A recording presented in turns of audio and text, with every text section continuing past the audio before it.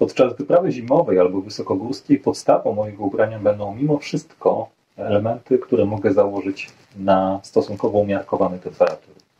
Dzieje się tak dlatego, że nawet jedąc na zimową wyprawę, taką jak Travers Islandii, zawsze zaczynam ją w miejscu, gdzie temperatury są dosyć umiarkowane, na przykład w Reykjaviku. Kiedy jedzie się na wysoki szczyt, może okazać się, że kilka kilometrów niżej u jego podnóży panują wręcz upały. Dlatego podstawą mojego ubrania na wyprawy zimowe będzie zawsze cienka koszulka. Ta akurat, którą tu widzicie, jest wykonana z wełny merino. Ma to podwójne znaczenie. Sama wełna jest materiałem, który chroni w dosyć szerokim zakresie temperatur i ta tutaj wygodna będzie nawet w temperaturze plus dwudziestu kilku stopni. Z drugiej strony tworzy idealną pierwszą warstwę, która dzięki właściwościom wełny będzie utrzymywać tuż w mojej skórze optymalną temperaturę. Dodatkowo ma tą cechę, że dzięki antybakteryjnym właściwościom merino w tej koszulce jako jedynej mogę chodzić przez bardzo długi czas. Ta konkretna służyła mi przez 4 tygodnie na wyżynach Islandii i czułem się w niej cały czas dobrze. Drugim elementem będą spodnie. Te tutaj to spodnie softshellowe, moje ulubione, używane już od kilku lat. Widać to po nogawkach pociętych rakami. Mm, te tutaj są bardzo uniwersalne, ponieważ materiał, z którego są wykonane jest dostatecznie cienki, abym mógł założyć te spodnie w temperaturze kilkunastu stopni. Mm, a jednocześnie nadają się bardzo dobrze na e, całkiem spore mrozy, a kiedy zakładam pod spód e, jakąkolwiek warstwę ocieplającą, bieliznę, mogę w nich iść przy minus 20 stopni. Te tutaj są tymi, które przeszły zarówno letni, jak i zimowy trawers Islandii. Nie są w najlepszym stanie, ale naprawiam je i mam nadzieję, że będą mi służyć jeszcze bardzo długo. Kiedy myślę o ubraniach, mimo wszystko myślę o tym, co jest pierwszą rzeczą, jaką założymy na sobie, czyli bieliznę. Podczas zimowych i nie tylko zimowych wypraw zakładam na siebie bokserki Saxa. To element garderoby przeznaczony wyłącznie dla mężczyzn. Panie, proszę o wybaczenie. Są bardzo dobre dzięki swoim antybakteryjnym właściwościom oraz wewnętrznej konstrukcji, która dopasowana jest do męskiej anatomii i zapobiega wszelkim otarciom. Kiedy temperatura robi się niższa, potrzebuje czegoś jako drugą warstwę. I tutaj wybór mam między syntetykiem a wełną merino. Podstawą, w której zobaczycie mnie na bardzo wielu wyprawach jest ta syntetyczna koszulka. Mm, to moja druga warstwa z długim rękawem, jednocześnie bardzo lekka, miękka i elastyczna, a dodatkowo całkiem ciepła. W momencie, kiedy wykonuję dosyć mocny wysiłek, kiedy ruszam się energicznie, albo kiedy temperatura nie jest, nie jest bardzo niska, jestem w stanie wędrować tylko w niej i jest ona taką podstawą na, powiedziałbym, przejściowe pory roku, kiedy zwykła koszulka z krótkim rękawem jest e, za słaba. Wybór podczas zimowej wyprawy mam między syntetykiem a wełną merino. Między stosunkowo lekką koszulką syntetyczną a grubszą, cieplejszą wełnianą. Którą z tych dwóch koszulek wezmę na wyprawę? Jeżeli spodziewam się dosyć różnorodnych warunków, na przykład wchodzę na wysoki szczyt, u podnóży którego może panować upał, zabiorę prawdopodobnie ten syntetyk, jako przeznaczony na szerszy zakres temperatur. Jeżeli jednak spodziewam się, że zimno będzie cały czas i nie znajdę ani jednego miejsca, w którym będzie cieplej, prawdopodobnie zabiorę ze sobą trochę cięższą, ale jednocześnie cieplejszą, bardziej przylegającą, a więc lepiej utrzymującą ciepło przy ciele koszulkę z wełny merino. Te dwie koszulki mogę też łączyć ze sobą, zakładając jedną pod drugą. Ta wełniana znajduje się wtedy bliżej ciała, natomiast ta syntetyczna stanowi drugą warstwę tej ciepłej bielizny.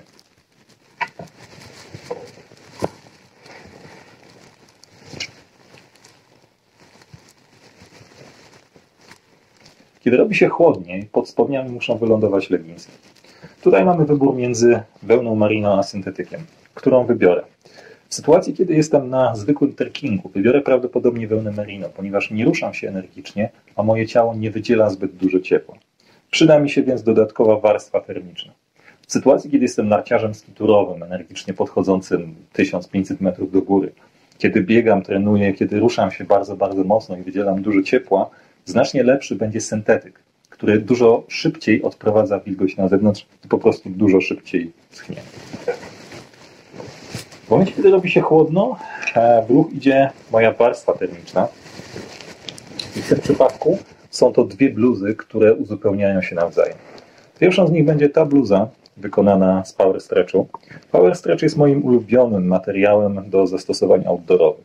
Jednocześnie jest mięsisty i bardzo ciepły w przeliczeniu na swoją wagę. A z drugiej strony jego gładkie wykończenie na zewnątrz sprawia, że jest minimalnie wiatro- i wodoodporny. W takiej bluzie mogę więc chodzić e, w niewielkim wietrze i przy, i przy czy w mokrej mgle. Ta bluza jest bardzo fajnie rozwiązana, ponieważ dzięki swojemu krojowi przylega do ciała, dociskając do, niej, do niego bieliznę i sprawiając, że ciepło jest utrzymywane zarówno przez nią, jak i przez bieliznę pod spodem. To bardzo fajny, dosyć minimalistyczny model z jedną tylko kieszenią na piersi, z długimi rękawami i z kapturem, który dzięki swojemu krojowi i dzięki suwakowi poprowadzonemu lekko z boku obok brody bardzo, bardzo dobrze zastępuje kominiarkę. Drugą warstwą termiczną, która wyląduje na tej pierwszej, jest ta bluza z Polar Light. Materiału również nieźle trzymającego ciepło. Ta bluza jednak ma nieco obszerniejszy krój, co powoduje, że mogę ją założyć na tą nieco bardziej obcisłą czarną. Razem więc nie ściskają się. Można powiedzieć, że tworzą bardzo fajny system, który, e, który zapewnia mi ciepło w niskich temperaturach. Również jest kaptur w fajnym kształcie zastępującym kominiarkę. Cała ta bluza wykonana jest z ciepłego Polar Light, aczkolwiek rękawy i miejsca pod pachami wykonane są z nieco cieńszego materiału, który lepiej transportuje wilgoć na zewnątrz i powoduje, że e, nie zapłacam tak całego, całego ubrania.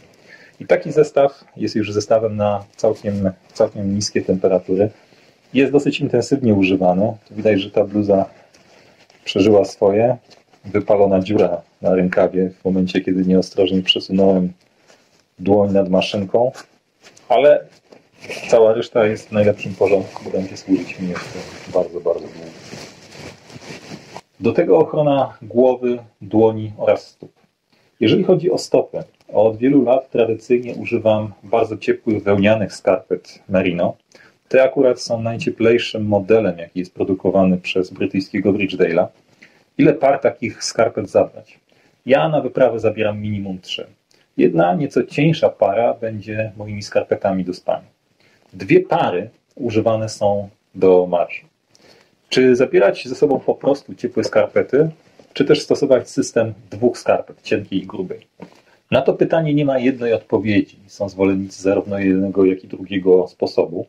W moim przypadku bardzo często będę używać tylko jednej pary ciepłych skarpet, kiedy przez cały dzień spodziewam się w miarę stałych temperatur. Takie warunki panowały na przykład na zimowym trawersie Islandii, gdzie zarówno rano, jak i w środku dnia, jak i wieczorem miałem te minus 10, minus 15 stopni. Jednak zdarzają się sytuacje, kiedy temperatury w ciągu dnia mogą bardzo się różnić. Idealnym przykładem jest na przykład wejście na Elbrus. Startujemy o 23-24 z bazy w temperaturze minus 20, minus 25 stopni i przy silnym wietrze. Wracamy do tej samej bazy w temperaturze około 0 stopni. To oznacza, że w bardzo grubym bucie wysokogórskim i w bardzo ciepłej skarpecie nasze stopy będą się mocno zapasać.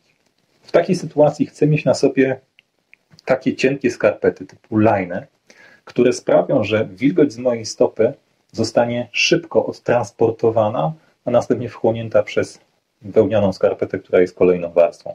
Jest to trochę nieintuicyjne, ponieważ zakładam drugą parę skarpet na sytuację, w której spodziewam się wyższej temperatury. Taka jednak e, metoda sprawdza się całkiem nieźle i sprawdziła się też podczas kilku moich wyjść na bardzo wysokie szczyty Alp i Kaukazu. Dalej ochrona dłoni, a rzecz, do której przykładam dosyć dużą wagę. Podstawą będą cienkie rękawice z power stretchu, idealne do jakichś manewrów sprzętowych. W sytuacji, kiedy temperatura robi się niska, uzupełniam te rękawice zwykłymi łapawicami polarowymi. To dosyć śmieszny model. wygląda trochę jak wykonany chałupniczo. Mm, mam go od kilkunastu lat i stosunkowo rzadko używam, e, a kupiłem te łapawice bardzo wiele lat temu po upadku mm, świętej pamięci Alpinusa, tego pierwszego, który niektórzy z Was mogą pamiętać. Te łapawice są bardzo obszerne, co sprawia, że mm, te nieco, nieco bardziej obcisłe, pięciopalczaste rękawice wchodzą do nich bez problemu. Są więc drugą, bardzo ciepłą warstwą na wypadek silnego mrozu. Kiedy wieje bardzo silny wiatr, albo kiedy mam do czynienia z mokrym śniegiem, bardzo przydatne okazują się łapawice membranowe. Te tutaj stanowią komplet z tymi polarowymi. Są bardzo obszerne, więc przez to niewygodne w sytuacji, kiedy muszę dokonywać różnych operacji sprzętowych, ale są idealne, jeżeli muszę na przykład włożyć do nich rękę w wilgotnej rękawicy, aby ją wysuszyć. Fakt, że on pokryte są od środka membraną, sprawia, że transportują wilgoć na zewnątrz, co oznacza, że kiedy przemoczę moje rękawiczki, na przykład w nieostrożnym kontakcie ze śniegiem, mogę włożyć je do środka i po dwóch godzinach moje dłonie będą nie tylko ciepłe, ale również kompletnie, kompletnie suche. Taki zestaw trzech warstw, a więc dwóch ciepłych i jednej membranowej, jest idealnym kompletem na bardzo niskie temperatury. Dodatkowo na trawers Islandii zabrałem ze sobą takie jednoczęściowe rękawice narciarskie, ocieplane. Mm, ich wielką zaletą jest fakt, że materiał nie przepuszcza wody, ani też e, nie pozwala wilgoci z mokrego śniegu dostawać się do środka, a same rękawice są kompletnie wiatroszczelne. Używałem ich przy dosyć złej pogodzie, ale pokazywały również wtedy swoje wady. Mm, fakt, że posiadają membrany, i to niestety nie pierwszej jakości, sprawiał, że wilgoć, którą wydzielały moje dłonie w cieplejsze dni, gromadziła się w środku. Taka rękawica stawała się nie tylko chłodniejsza, ale wręcz zamarzała, e, kiedy ją zdejmowałem. Te tutaj są już bardzo mocno przechodzone, podziurawione i ocieplina zaczęła wyłazić e, końcówkami palców. Materiał jest kompletnie zużyty, wystarczyło przejść kilkaset kilometrów, ale mimo to bardzo je lubiłem. Tego typu rękawice też znajdują się w moim komplecie na zimową pracę. Ochrona głowy. Bardzo ważna rzecz, zwłaszcza kiedy jedyne co Wam wyszło to włosy. E, ta tutaj wykonana jest z akrylu i z dodatkową wstawką polarową na wysokości uszu i czoła. Jaki materiał wybierzecie zależy w zasadzie od Waszych upodobań. Może to być wełna, akryl, polar, power stretch. Ważne, aby nie był to materiał membranowy typu gore albo, albo windstopper. Dlaczego? Dlatego, że podczas bardzo dużego wysiłku przez czapkę musi parować wilgoć pochodząca z Waszej, z waszej skóry. W sytuacji, kiedy macie czapkę membranową, parowanie tej wilgoci będzie w dużej mierze zatrzymane, a membrana nie będzie w stanie wypuścić dostatecznej jej ilości na zewnątrz to sprawi, że po prostu się zapocicie. Dlatego pierwszym wyborem zawsze powinna być czapka, która jest e, stosunkowo paradoksalnie przewiewna. W sytuacji, kiedy robi się bardzo zimno, mm, kiedy chcę osłonić twarz, e, mogę albo zapuścić zarost, albo, e, co bardziej pewne, zabiorę kominiarkę ciepłą, wykonaną z wełny, z wełny merino. No i na koniec czapka, tym razem membranowa, która jest pewnego rodzaju e, bronią na najcięższe warunki.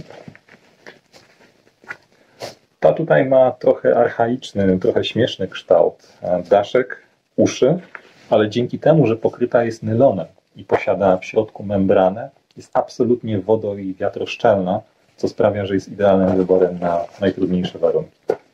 No i na koniec e, komin, czyli buf, czyli tunel wykonany z ciepłego materiału, może pełnić funkcję nie tylko czapki lub szalika, ale także e, służyć do udzielania pierwszej pomocy. Ma wiele zastosowań, niektóre z nich bardzo nieoczywiste. Do osłony szyi, a zawsze mam przynajmniej jedną sztukę w bagażu. Kiedy robi się bardzo zimno, e, pod spodnie oprócz zwykłych leginsów założę ciepłe leginsy z power stretchem. Te tutaj zostały dla mnie uszyte przez Kwarka. Bardzo fajny model, przeznaczony nie tylko dla wędrowców i wspinaczy, ale również dla biegaczy. Cechą charakterystyczną jest fakt, że posiadają tylko jeden szef biegnący po zewnętrznej stronie uda. Cała reszta jest pozbawiona szwów, co ma kapitalne znaczenie, ponieważ nie ryzykujecie obtarć na przykład po wewnętrznej stronie waszych nóg. Bardzo ciepły model, który zakładałem na temperatury znacznie poniżej minus 20 stopni. I rzecz, która jest jednym z moich ulubionych, jednocześnie głównych elementów ubioru, jednym z takich, których uważam za najważniejsze, kurtka hybrydowa z ociepliną Primon. Ta tutaj składa się niejako z dwóch części. Regiony, które wymagają docieplenia, a więc w dużej mierze cały korpus oraz ramiona, wypełnione są sporą ilością primoloftu. który jednak pozostaje lekki i bardzo dobrze kompresuje się, kiedy kurtka ma wylądować w plecach. Z drugiej strony boczne panele oraz, oraz same rękawy wykonane są ze znacznie cieńszego i bardzo dobrze oddychającego materiału, co powoduje, że kurtka świetnie sprawdza się nawet kiedy popełniam dosyć duży wysiłek. I dzięki materiałowi, którym jest pokryta, jest to bardzo fajny model jako warstwa wierzchnia, ponieważ jest w dużej mierze także wiatroszczelny, co powoduje, że kiedy mam do czynienia z umiarkowanie trudnymi warunkami, taka kurtka może być jedyną rzeczą, jakiej potrzebuję na wierzch. W momencie, kiedy warunki robią się zdecydowanie trudniejsze, kiedy wieje bardzo silny wiatr, założę na siebie ten lekki Gore-Tex. Mm, ta kurtka to dosyć minimalistyczny model, robiony również trochę pod wspinacze. Bardzo fajne ułożenie kieszeni, które znajdują się na wysokości piersi, a więc nie kolidują na przykład z uprzężami wspinaczkowymi.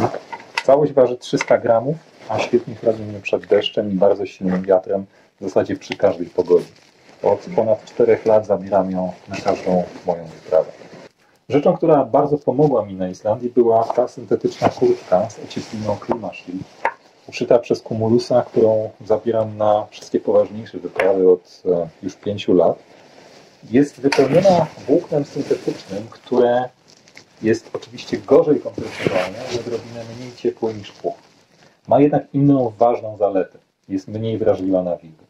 To miało kapitalne znaczenie na Islandii, gdzie oprócz zimna panuje mimo wszystko dosyć spora wilgotność.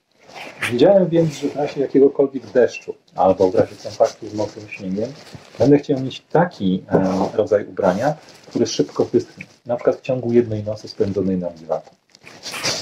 W momencie, kiedy warunki stawały się naprawdę trudne, e, zakładałem na siebie moją najcieplejszą pokówkę.